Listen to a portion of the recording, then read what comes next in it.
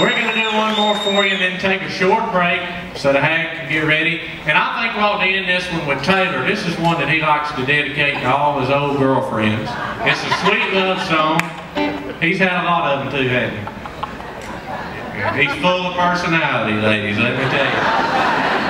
But anyway, the name of this song is a real serious love song. The name of it is Oh, What's Her Name? So,